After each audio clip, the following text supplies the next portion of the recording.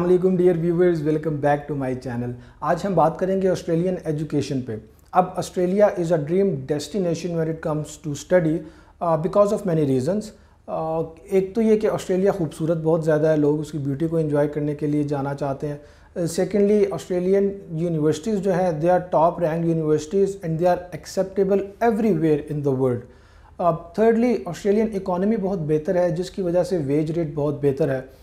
और जो students international students होते हैं ऑस्ट्रेलिया में मोस्टली वो इतना पार्ट टाइम अर्न कर लेते हैं पार्ट टाइम जॉब करने के साथ साथ इतना ज़रूर अर्न कर लेते हैं कि अपनी स्टडीज़ को फाइनेंस कर सकते हैं। एंड फाइनली आप, आपको आफ्टर योर स्टडीज़ तीन साल का post graduate work permit issue होता है जिस पे आप तीन साल फुल टाइम जो है वो ऑस्ट्रेलिया में जॉब करते हैं और वो करने के बाद आपके Australian education plus Australian experience का इतना स्कोर बन चुका होता है कि आप इजीली ऑस्ट्रेलियन पीआर अप्लाई कर सकते हैं। तो इस वीडियो में मैं डिटेल से एक्सप्लेन कर रहा कि किस तरह से आप अपने एडमिशन का प्रोसेस कर सकते हैं। ऑस्ट्रेलिया में इस प्रोसेस में क्या क्या डॉक्यूमेंट्स आपको रिक्वायर्ड होंगे और कितना ख़र्चा होगा आपका ऑस्ट्रेलियन स्टडीज़ में। तो व्यूवर्स वीडियो पे जाने से पहले आई वुड रिक्वेस्ट यू कि काइंडली आप मेरे चैनल को सब्सक्राइब कीजिए। आते हैं। आज के टॉपिक पे ऑस्ट्रेलियन स्टडी मैं सबसे पहले एक्सपेंसेस की बात करूँगा। देखें अगर आप बैचलर में एडमिशन ले रहे हैं ऑस्ट्रेलिया में तो आपका मिनिमम इंटरमीडिएट होना चाहिए।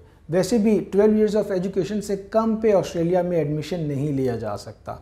तो आप जब इंटरमीडिएट की बेसिस पे बैचलर में एडमिशन लेते हैं तो बैचलर की जो पर एनम फ़ी है that ranges from 10 to twelve Australian dollars and it could go up to seventeen to eighteen thousand Australian dollars and when it comes to masters तो मास्टर्स में आपके जो है annual fee that start from twelve to thirteen thousand Australian dollars and it could go up to twenty four twenty five thousand Australian dollars that where is university to university and location to location अब एक चीज़ जो बहुत important है Australia के लिए कि Australia की जो मेन सिटीज़ हैं लाइक ब्रिस्बेन है कैनबरा जो उनका कैपिटल है सिडनी है मेलबर्न है ब्रिस्बेन है।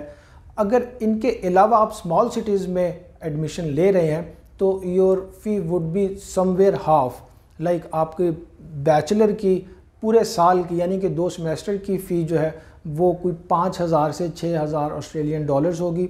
और इसी तरह से जो मास्टर्स है, उसकी फ़ी तकरीबन कोई छः से सात हज़ार एनअल ऑस्ट्रेलियन डॉलर होगी।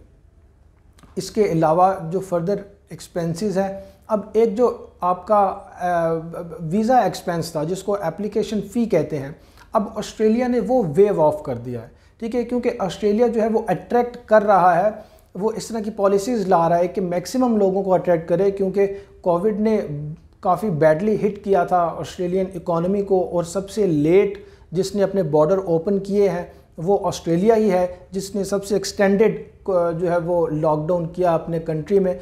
तो अब Australia need visitors tourist and students के जो राइट अवे ऑस्ट्रेलियन इकोनॉमी में कंट्रीब्यूट कर सकते हैं। uh, इसके अलावा जो आपके एक्सपेंसेस होंगे uh, उसमें overseas student health surcharge है।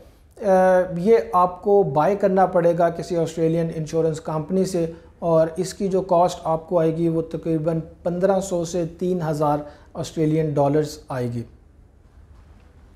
इसके अलावा मैं अब बात करूँगा कि आपके फ़ंड्स की रिक्वायरमेंट क्या है। तो देखिए एनअली आपको minimum twenty one thousand forty Australian dollars की बैंक स्टेटमेंट शो करवानी है। अब ये बैंक स्टेटमेंट जो है, वो आपके जो स्टूडेंट हैं, उनके नाम भी हो सकती है, लेकिन मोस्टली स्टूडेंट्स जो है, वो उन्होंने भी अर्निंग स्टार्ट नहीं की होती। तो उनके जो गार्डियंस हैं, उनके नाम पे भी हो सकती है, उनके सिबलिंग्स के नाम पे भी हो सकती है। और एक चीज़ बड़ी इंपॉर्टेंट है कि ये जिसके भी नाम पे है, उसकी थोड़ी सी वैल्यूएशन कर लीजिएगा, ठीक है? आप अपनी फाइलिंग में कुछ प्रूफ्स लगा दीजिएगा कि ये इसका सोर्स क्या था, ये जो फंड्स उन्होंने जनरेट किए हुए हैं ये कहाँ से उनके पास आए हैं? ये कोई रिटायरमेंट के पैसे हैं या ये किसी इंश्योरेंस से मिले हैं या ये कोई एसिड सेल करके मिले हैं या ये कोई ईयर लॉन्ग्स जो है वो सेविंग से इकट्ठे हुए हैं?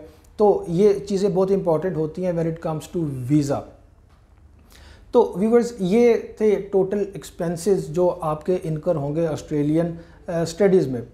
अब मैं बात कर लेता हूँ कि क्या प्रोसेस होगा। देखिए, सबसे पहले आपने अपने कोर्स और यूनिवर्सिटी सेलेक्ट करनी है ऑस्ट्रेलिया के लिए। बेहतर होता है कि आप एट अ टाइम एक से ज़्यादा यूनिवर्सिटी सेलेक्ट कर रहे हो, क्योंकि अगर ड्यूरिंग द प्रोसेस किसी यूनिवर्सिटी के साथ कोई आपका इशू हो भी जाए तो you would have you know your second option your third option open तो इसलिए इंपॉर्टेंट होता है कि एक से ज़्यादा यूनिवर्सिटीज़ को एट अ टाइम अप्रोच किया जाए। इसके अलावा जब आपने अपना कोर्स और यूनिवर्सिटी सिलेक्ट कर ली तो उसके बाद फिर आप राइट अवे एडमिशन फॉर्म जो ऑनलाइन उस यूनिवर्सिटी के अवेलेबल होते हैं, वो फिल करेंगे और अपने एजुकेशन डॉक्यूमेंट साथ लगा देंगे। आपके, उसके बाद यूनिवर्सिटी आपको रिस्पॉन्स करेगी, जिसमें एक रिक्वायरमेंट लेटर आपके साथ शेयर करेगी, जिसमें रिक्वायर्ड डॉक्यूमेंट्स होंगे जो आपने सबमिट करने होंगे। अब ये जो डॉक्यूमेंट्स हैं ये बहुत इंपॉर्टेंट है, ठीक है? इन इनिशियली तो आपने सिर्फ़ एजुकेशनल डॉक्यूमेंट्स लगाने होंगे, लेकिन जब आप वीज़ा फ़ाइल कर रहे होंगे तो डिटेल एक्सटेंडेड डॉक्यूमेंट्स होंगे, जो कि मैं अभी latter part of this video आपके साथ शेयर कर रहा हूँ तो आपने यूनिवर्सिटी की रिक्वायरमेंट फुलफ़िल करनी है, जिसमें आपने उनके साथ अपने एजुकेशन डॉक्यूमेंट्स की कॉपीज़ उनको देनी है। आपने फ़ंड्स की रिक्वायरमेंट्स जो है और बैंक स्टेटमेंट जो है वो पूरी करनी है। आपने अपना स्टेटमेंट ऑफ़ पर्पज़ बेहतरीन सा जो बनाया हुआ होगा, वो आपने उनके साथ शेयर करना है। और अगर यूनिवर्सिटी रिक्वायर करती है आपसे रेफरेंस लेटर्स या रिकमेंडेशन लेटर्स तो आपने वो साथ अटैच करने हैं। वंस जब आप यूनिवर्सिटी की सारी रिक्वायरमेंट फुल फुलफ़िल कर देंगे तो देन आपको यूनिवर्सिटी एक लेटर इशू करेगी जो कि होगा कन्फर्मेशन ऑफ़ इनरोलमेंट अब ये लेटर इशू होने के बाद आप ऑनलाइन अपना वीज़ा का प्रोसेस करेंगे। मैं डिस्क्रिप्शन बॉक्स में लिंक डाल रहा हूँ कि कहाँ पे जाके आपने किस वेबसाइट के थ्रू अपना वीज़ा प्रोसेस करना है। ये होम डिपार्टमेंट है ऑस्ट्रेलिया का कि जिनकी वेबसाइट पे जाके आप अपना वीज़े का प्रोसेस करेंगे। अब जब आप अपना वीज़ा का प्रोसेस करेंगे तो आपने अपने सारे डॉक्यूमेंट साथ अटैच करने हैं। जी व्यूवर्स ये डॉक्यूमेंट जो है, ये जो मैं आपसे अभी कहने जा रहा हूँ, ये इंपॉर्टेंट डॉक्यूमेंट्स हैं, इसमें से आप कोई डॉक्यूमेंट मिस मत कीजिएगा।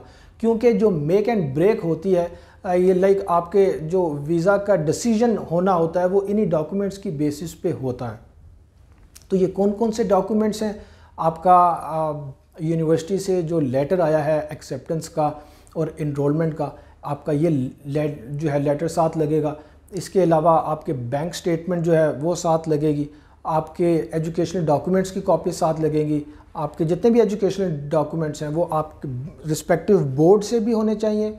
आईबीसीसी से भी होने चाहिए और फ़ॉरेन ऑफ़िस से भी होने चाहिए। और अगर आप मास्टर डिग्री में या उससे ऊपर किसी डिग्री में एडमिशन ले रहे हैं तो आपके पास बैचलर डिग्री जो है, वो आपकी यूनिवर्सिटी से एच e से और फ़ॉरेन ऑफ़िस से अटेस्टेड होनी चाहिए। इसके अलावा आपका एम होना चाहिए, अगर आप मैरिड हैं तो।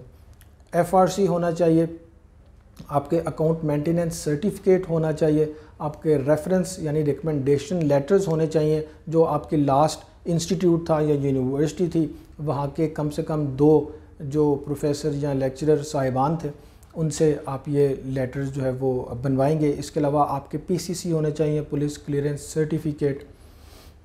इसके अलावा आपका मेडिकल होना चाहिए, आपका बायोमेट्रिक होना चाहिए। ये जब आप वीज़ा के लिए अपना फॉर्म फिल करेंगे तो इन दोनों की रिक्वेस्ट आपके आपके पोर्टल में आ जाएगी। तो व्यूवर्स ये वो डॉक्यूमेंट्स हैं कि जो सारे आप अटैच करेंगे।